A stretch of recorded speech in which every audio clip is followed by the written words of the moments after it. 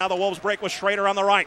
Schroeder passing left. Here's Billy Sweatt with a shot and he scores. Good two on one goal for the Wolves.